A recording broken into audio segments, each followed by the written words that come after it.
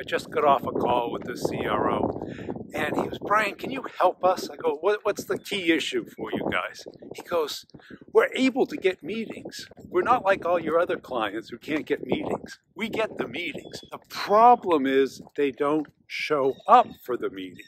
That doesn't sound like a very good meeting now, does it? And I go, I have one question for you. Let me ask you. Do you comp people for the meeting? He goes, How'd you know? Yeah. I go, what you're doing is your reps are doing and saying whatever they have to to get that meeting. They get comped on it.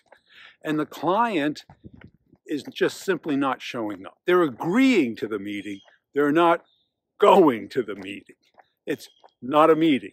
You got to understand that cold outbound is completely different than warm inbound, meaning you can't be pushing and cajoling and torturing these people because they have know skin in the game. They don't care.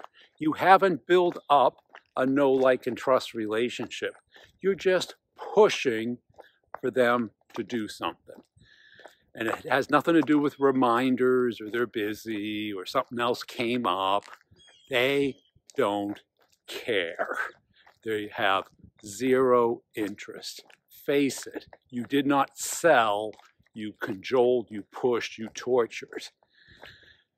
Cold outbound requires us to meet them where they are and build them up to where we want to be, not to push, not to have some beautiful messaging and insight that just romances them into a meeting. Good luck with that. That's what they call a no show.